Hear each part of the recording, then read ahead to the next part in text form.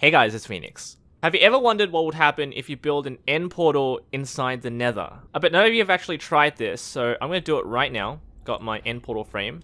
And of course we have to build it um, like this, with three on each side, and facing inward. Now I've got my Eye of Ender, and I'm going to start filling them in, like this. I've got 12, like so.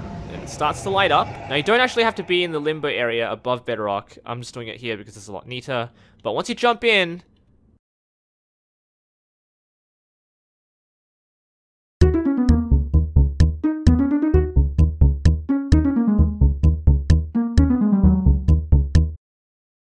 okay, that was really silly. Uh, you can see right here is this, is, this is a really dumb bug that I modeled. Let's get rid of the title there.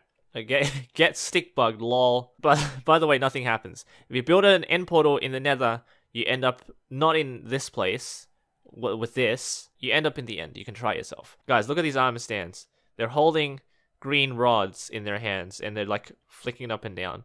That's what's happening, and they're moving side to side.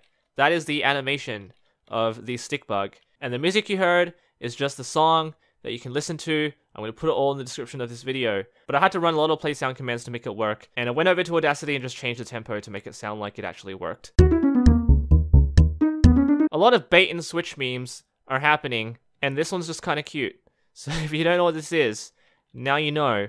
And it's just a bunch of armor. Always has been. Thank you all for watching. Leave a like, subscribe for more creative content. Take care.